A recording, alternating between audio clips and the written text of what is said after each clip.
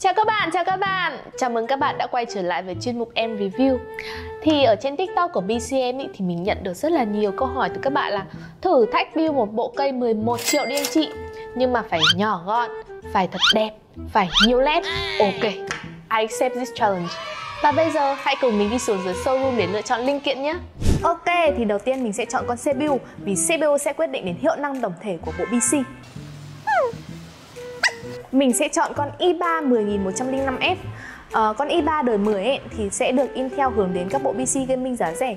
Và vì là nó được lược giảm cái nhân đồ họa tích hợp ấy, thì nó sẽ tối ưu về giá thành hơn anh em nhé Ok, tiếp đến là mình sẽ chọn main nhá.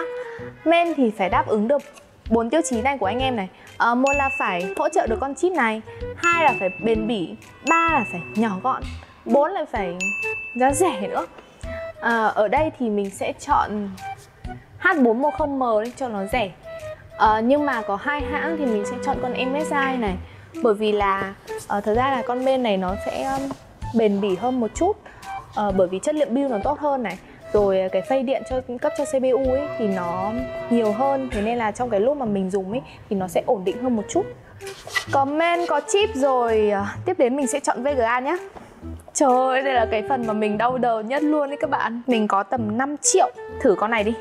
1660 Ti Asus Top Gaming. Cứ thử xem sao. Mới có 3 linh kiện thôi mà đã mất tầm 9 triệu rồi. Thì tôi sẽ còn 2 triệu nữa cho 4 linh kiện à, RAM này, SSD này, nguồn với cả case. Chắc là RAM mình chọn con này của Team Group thôi. Bởi vì con này là 8GB ở uh, Burst 3002 cũng khá là cao. DDR4 này các bạn. Nếu mà mình chọn con LED này chắc chắn là over budget ngay. Tiếp đến là SSD nhá. SSD thì là thôi 120GB thôi.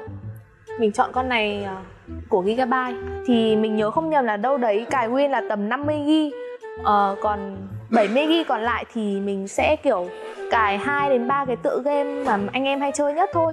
Xong rồi thì mình còn đâu là mình sẽ lưu trữ các file học tập.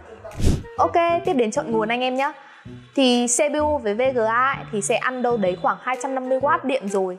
Còn mấy cái linh kiện khác ấy, thì nó cũng không đáng kể đâu. Nhưng mà để mà anh em về sau có nâng cấp được các linh kiện ấy Thì uh, ví dụ như là uh, RTX 3060 đi chẳng hạn Chiến mượt cấp tự game đi Thì phải có con nguồn nó đủ khỏe đúng không? Mình sẽ chọn con uh, nguồn của Antec Atom 550W Đấy thì sẽ thừa luôn. Với cả là nó cũng khá là rẻ anh em ạ. Cuối cùng là vỏ case Đây, mình sẽ đi một vòng xem là có vỏ cây gì rẻ rẻ đẹp đẹp không nhé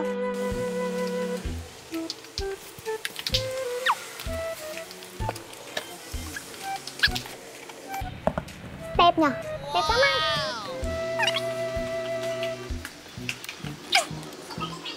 Sau khi mà lượn một vòng thì mình vẫn phải chọn con nguồn này thôi các bạn ạ Thì nó tối ưu về giá nhất rồi con này thì có hai màu trắng với cả màu đen. Và mã của nó là Keno. Đấy. Và hãng của nó là Keno, mình nhầm. Bây giờ mình sẽ thử cộng tiền xem là tầm bao nhiêu tiền rồi nhá. Ồ các bạn ơi, mình vừa ra cộng tiền xem là bao nhiêu tiền ý. Thì cái bộ cây này chỉ có 10 triệu 990 nghìn. Hoàn thành thử thách. À quên mất, vừa nãy các bạn yêu cầu là phải thật nhiều led đúng không? Thì mình quên mất chọn những cái đồ mà có led cho các bạn. May quá được tặng ba cái fan led. Còn bây giờ thì lên stu lắp đồ thôi nhé.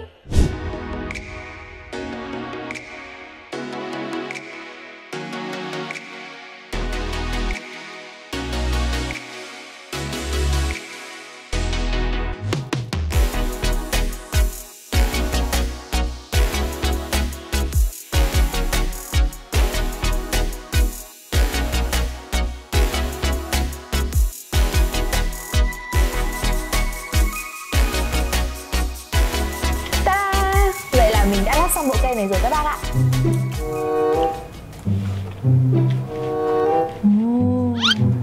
mát lắm và sau đây mình sẽ có những cái bài test đánh giá hiệu năng con i3 10105F so với con i5 đời cũ 9400F. Một con là 4 x 8 luồng và một con là 6 x 6 luồng. Như các bạn thấy ở đây, về phần đơn nhân thì con i3 đời mới so với con i5 đời cũ thì nó có phần nhỉnh hơn một chút. Nhưng mà về phần đa nhân ý, thì nó đang yếu hơn con i5 đời cũ các bạn ạ. Tiệu chung lại thì sau cái bài test này tôi thấy hai con hiệu năng nó xem xem nhau các bác ạ. Nhưng mà về giá cả ấy thì con i5 đời cũ nó nhỉnh hơn khá là nhiều so với con i3 Thế nên ý, để tối ưu trong cái tầm giá 11 triệu thì tôi khuyên các bác là nên chọn con i3 10105F này nhá. Và không để các bác chờ lâu hơn nữa, tôi sẽ test game luôn cho các bác xem này. Ok, đầu tiên về cái tựa game mà CSGO, FPS rất là cao 260. Tiếp đến là tựa game GTA 5, mức FPS luôn trên 100. Tựa game quốc dân PUBG, FPS là 90.